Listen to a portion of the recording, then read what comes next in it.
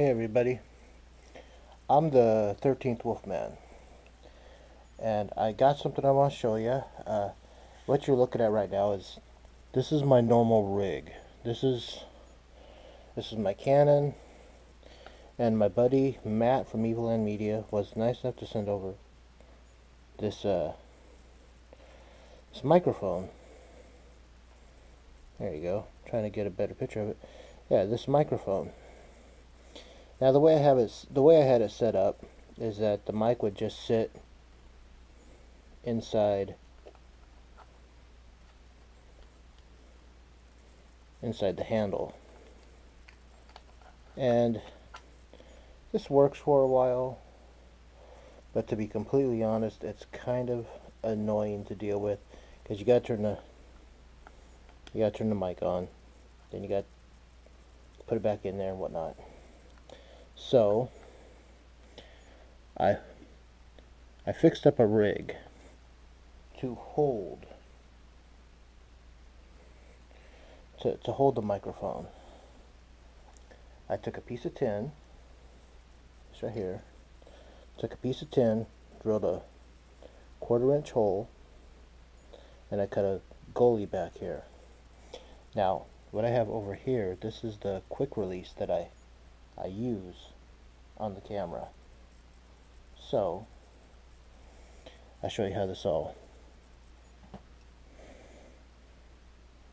gotta make sure I hook it up right. So there we go. Hold on a second. We'll put the pin in first. There's the pin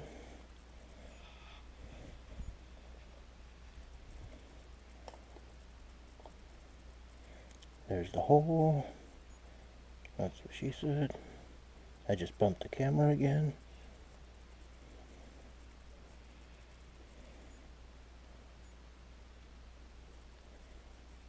Got to line the pin up. Okay, got the pin lined up. I don't know, I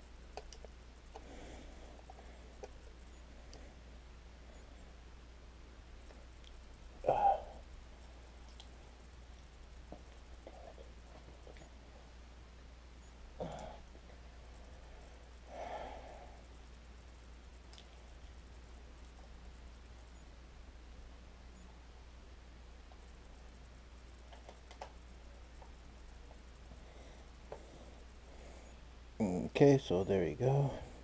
The pins lined up. Tighten this down. There we go. And now take the mic. It slides right in here. Just gotta loosen this up a bit.